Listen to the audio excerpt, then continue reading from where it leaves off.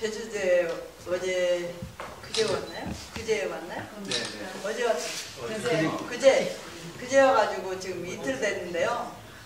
제주도에 와 보니까 저는 지도에서 봤을 때요. 제주도는 하나 조그마한 점에 에, 그 불과해서 제주도는 조그마한 동네다고 오기 전에는 그렇게 생각을 했거든요. 근데 와서 보니까 제주도는 엄청 큰 도시예요. 그리고 너무너무 잘 살고 있는 동네다는 것을 제가 느꼈어요. 그리고 너무너무 어, 미약, 어, 느림의 그 미약 있잖아요. 그걸 제가 느꼈어요.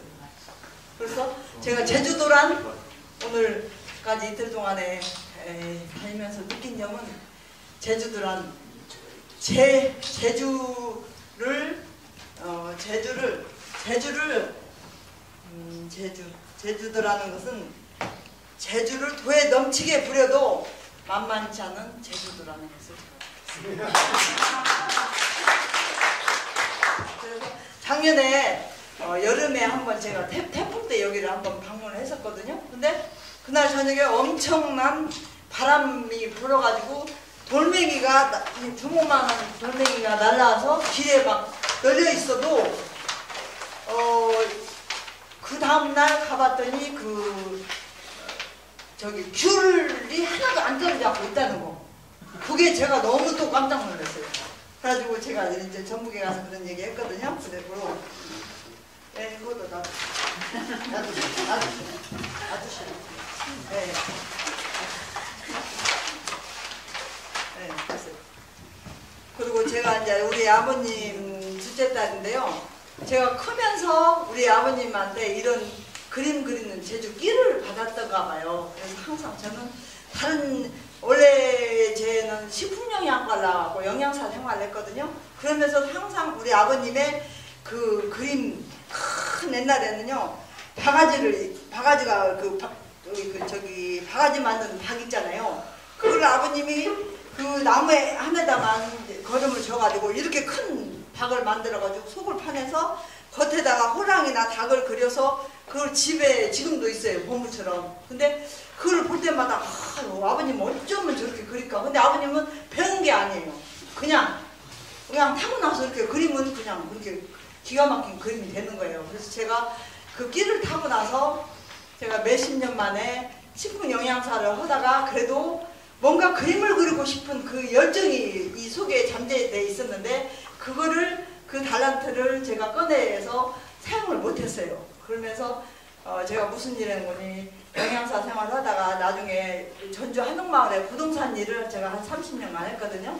그러면서 어느 날 어디를 그 화방을 옆에를 갔는데 풍속도가 그려져 있더라고요. 그래서 뭐 저 풍속도를 한번 그려보고 싶어. 그래서 들어가서 배우게 된 게 지금 한 10, 6, 7년 됐어요. 한 가지만 파야 되겠다. 근데 그 전에 이 미나를 하기 전에 제가 무슨 일 했는지 계속 붓을 잡고 어, 서예도 해보고 어, 사군자도 해보고 어, 그다음에 문이나도 해보고 여러 가지 해봤지만은 저의 가슴에 딱 와 닿는 거가 없었어요. 제 속을 꽉 채워주는 그런 거 없었어요. 그래서 뭔가 좀 해봐야 되겠는데 저에 맞는 음, 무슨 예술 작품이 없을까 하다가 미나를 만나게 됐, 됐어요. 아주 지금 전국에서 그때부터 여기 심심풀이로 하게 된 미나 작업이 지금은 전국에서 큰 상을 다 휩쓸다시피 해서 어, 좀 작가가 됐어요. 미나란 것은 제가 이제 간단히 다 아시겠지만 설명을 좀 해, 해볼게요. 미나란 것은 삼국시대, 고려시대, 조선시대 때 민중의 그 생활에 묻어있는 애환과 그 다음에 어, 기복사상을 그림으로 그려낸 것이 서민문화고요. 그 다음에 궁중에서 이렇게 그 무슨 행사 때 예, 행차도니 그 다음에 뭐 이런 이런 모란도 같은 것을 이렇게 이렇게 그려가지고 하면은 이런 이런 작품들이 쭉병 병풍으로 돼 갖고 나오면은 이거는 어 그 왕가의 누구 생일 잔치나 어, 이렇게 뭐 홀- 혼례 때 사용하는 이런 것이 미나인데 이 미나는 재료가 화학적인 물감이 아니고 돌가루, 조개가루, 흙가루 그걸 이용해서 그리기 때문에 이게 몇백 년이 지난 경복궁이나 창덕궁에 가서 벽화를 보면요 색이 하나도 변함이 없이 그대로 있어요. 왜? 천연 물감을 어, 불에 민어의 불어 불에 민어의 불에를 녹여가지고 그 물감을 착색시켜서 이렇게 그리기 때문에 이게 천연 물감이에요. 그래서 이 색의 변화가 없는 거예요. 그래서 올해 지금 저 일을 할 수가 있고요. 그 다음에 우리 조선시대 때 제일 많이 어, 민화에 대해서 그 발전이 최대 성행했던 시기가 정주시대 때그 어, 신윤복이나 김홍도나 정선 그 어, 도화원의 화가들에 의해서 어, 어, 정주시대 때 제일 많이 번창했던 것 같아요. 그래가지고 그때 작품이 지금 경복궁이나 창덕궁이나 모든 어, 저기 그림 민화로 많이 남아있는 작품이 많아요. 근데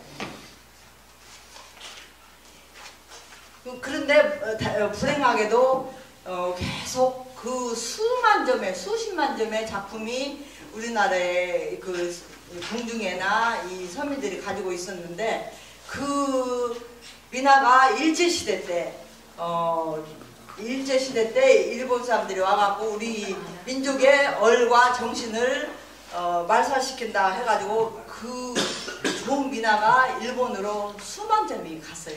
하고 그 사람들이 그 작품을 갖다가 자기들 수장고에다 넣어놓고 그것을 사진을 찍어서 저희한테 책 한 권에 10만 원씩, 20만 원씩 그걸 팔아요. 그래서 제가 그 책을 음, 보니까 너무 좋은 작품이 일본 그 수장고에 있는데 그 작품을 안 주고 책으로 찍어서 저희한테 파는 거예요. 그래서 제가 아 이 좋은 것을 어 제가 재현을 해서 어 많은 어, 시민들한테 보여줘야 되겠다. 그때부터 제가 꿈을 꾸게 됐어요. 그래서 그때부터 어, 한 작품이 음, 제가 제일 에, 여러 작품을 많이 했지만은 한 150여 점의 작품을 해서 제가 지금 가지고 있거든요. 근데 그 중에서 제일 큰 작품이 정조시대 때 태평성시도라는 요 그림을 이게 지금 국립중앙박물관에 소장되어 있는 그림이에요. 근데 이 것을 정조 대왕이 그 이 그림을 도화원의 그 화원들을 시켜서 이 그림을 10년에 걸쳐서 이 그림을 완성을 했어요. 근데 저는 이 그림 어느 책자에서 본 순간 이걸 제, 가 재현을 해서 시민들한테 한번 보여주고 싶다. 왜냐면 이게 보물로 지정되어 있기 때문에 이 작품을 어, 지금 서, 어, 저기 뭐 수장고에 있기 때문에 서민들이 볼 수가 없잖아요. 그래서 제가 이것을 이 자료를 받아가지고 이 자료를 받을 때 한 노트만한 크기의 에, 자료를 12장을 받았어요. 그래서 그걸 제가 그 자료를 안 주니까 그걸 받아가지고 그거를 확대 복사해서 또 그려서 또 확대 복사 또 그려가지고 제가 이것을 6m 50짜리 병풍을 만들었어요. 가지고 제가 전국에다 내서 이걸 이제 대상을 받았어요. 어, 강진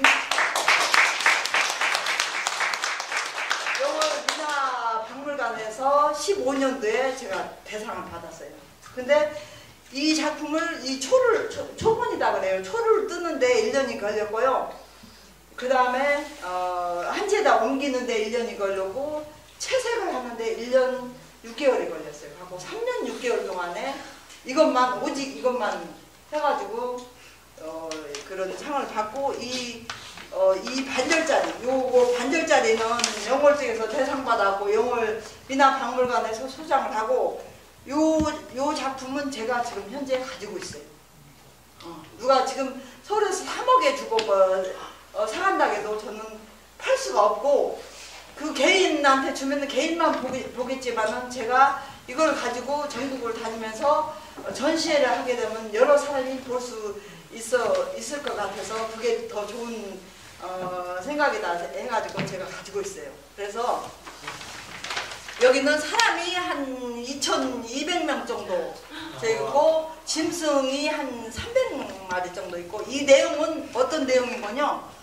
어, 조선시대 때 이게 이게 태평성시도거든요. 제목이 이게 어, 정조대왕이 태평스러운 어, 어, 백성들의 사는 모습을 그려달라 해가지고 이걸 그렸는데 이거는 어, 중국의 청명상화도라는 그림을 어, 기본으로 해서 우리 그 정주시대 때 생활 모습에 맞게 우리 조선식으로 그린 그, 저기 작품이에요. 그래서 이런 데 보면은 무슨 도자기 파는데 거울 파는데 대장간도 있고 어, 짐승을 이제 껍질 벗겨서 이렇게 모피를 파는데 모든 그런 여기가 이 다 담아 있어요.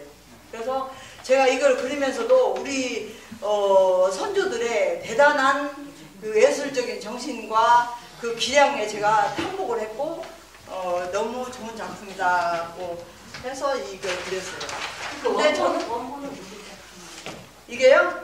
아, 이거는 어, 개인의 작품이 아니고 임금이 도화원의 도화원들 뭐 20명이고 30명이고 시켜가지고 거기서 공동으로 나온 작품이기 때문에 이거는 누구 작품이다 그것이 안 나와요.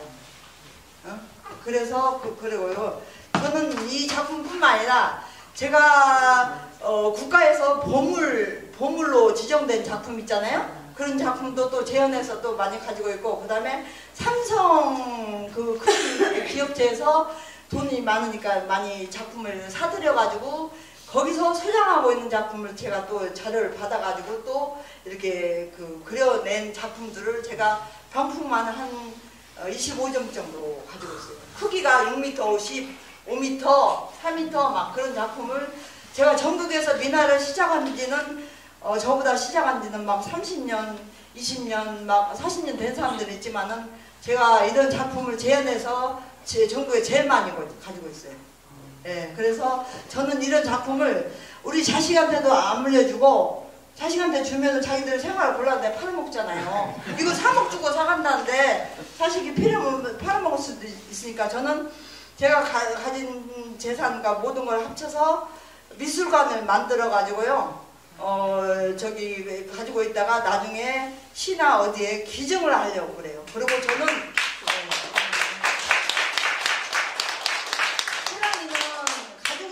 남겨서 어그 저는 이름을 남겨서 제가 이제 만들진? 않았지만은 이제 가만히 계세요. 그림을 이- 나그래서 어, 제가 그림을 남겨서 어, 다른 사람들이 보고 이 선조들의 대단한 이런 작품성과 이런 걸 이런 어를 느낄 수 있게끔 그 행복을 제가 드리고 싶어서 저는 그 미술관을 남겨서 저기 전 이제 기증을 하고 싶고 어, 그리고 또 하나 어, 제주도에도 혹시나 이런 그림을 제가 한 100여 점 가지고 있으니까 혹시나 장소가 제공이 된다면 제가 가지고 어, 와서 전시를 한번 했으면 하는 그런 어, 기회도 있었으면. 음, 예, 감사합니다.